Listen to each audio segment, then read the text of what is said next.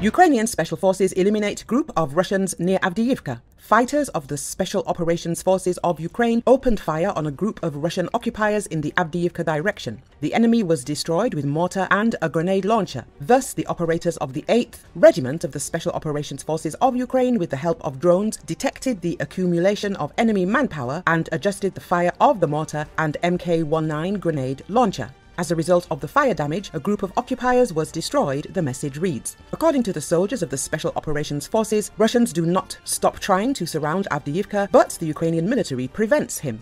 Despite the front lines having barely shifted, in 2023, fighting has remained intense, with the nearly encircled industrial town of Avdiivka the latest major flashpoint. Russia launched a renewed bid to capture the war battered town last month, and analysts suggest Moscow's forces have made incremental gains, though at an enormous human cost. The enemy has doubled its artillery fire and airstrikes. It has also intensified ground infantry attacks and is using armored vehicles, said Alexander Shtupun, spokesman for Ukraine's army.